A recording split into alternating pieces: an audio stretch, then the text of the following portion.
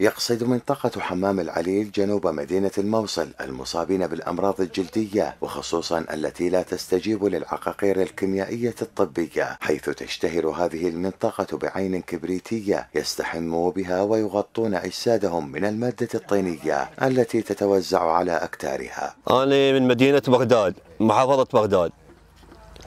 وجاي الحمام العليل حتى أتعالج. أنا عندي أمراض أكياس دهنية تطلع لي بجسمي. سويت عمليات. أسوي عملية منه يطلع بغير مكان. أسوي هنا تطلع بغير مكان. يعني تقريبا ثلاث عمليات أربعة أنا مسوي وديت كاثرا فوصفوا لي هنا قالوا تروح الحمام العليل بالموصل وهناك من الله الشفاء. تعرض حمام العليل إلى تخريب وتدمير تنظيم داعش الإرهابي وأعيد تأهيله بعد خمس سنوات من تحرير مدينة الموصل لما له من أهمية سياحية تستقطب قاصديه من جميع المحافظات العراقية.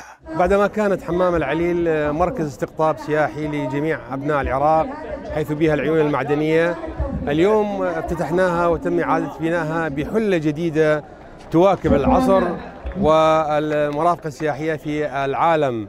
آه، بعدما كانت هذه آه، متروكة ومتروكة للأوساخ والقاذورات أصبحت اليوم حلة إن شاء الله ومركز استقطاب للسياح. يعتبر حمام العليل من المعالم السياحية بجوانب عدة أهمها السياحة الدينية بعد أن تشرفت عيونه بزيارة الإمام زين العابدين عليه السلام فضلا عن أهميته العلاجية للأمراض الجلدية وموقعه المميز بتضاريس طبيعية خلابة. حقيقة جاء هذا الافتتاح هو عرس لناحية حمام العليل وعرس لمحافظة نينوى آه، والعراق عموما إن شاء الله.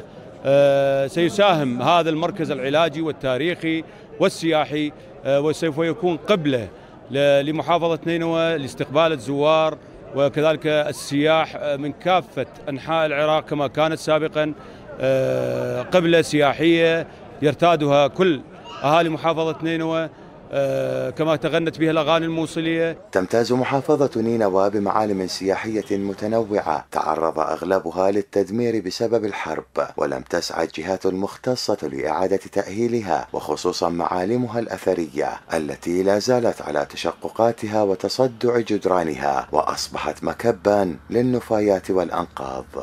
أنس الشرقي من الموصل. قناة رشيد الفضائية.